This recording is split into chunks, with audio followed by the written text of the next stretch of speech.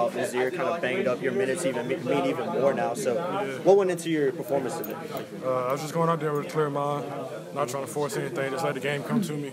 Um, got two easy layups. That was always a great start for me. Not down to three. And I just try to keep it rolling going into the second half. Do you have any? Do you have a different mindset with you know Leaky out? You know, you having to get more, more and more minutes to the point guard position because uh, there's not as much depth back there. No, the mindset's the same. Just go out there and try to give us a spark off the bench. Um, you know, my mindset didn't change. I just know there's more opportunity for me to go out there and play. You just got to play harder, and play better.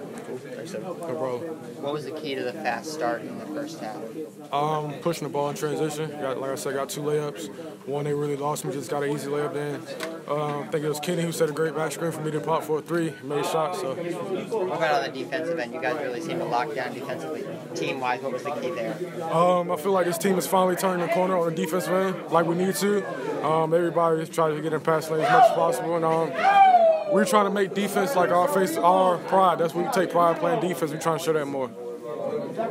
How important was that for you guys to do that today? Um, it was definitely important, especially coming off the Virginia loss. Um, Coach was saying, "Oh, we let's get this bad taste out of our mouth." So try to come out there with a win. We um, after the first half, we know we started 0-0, try to win the second half too. For you, how good was it for you to have a you know get to see some shots falling and? and uh, that was definitely big for me. Confidence going back up a little bit. Um, now I'm just trying to build off of it really. Thanks, Evan. Thanks, Evan.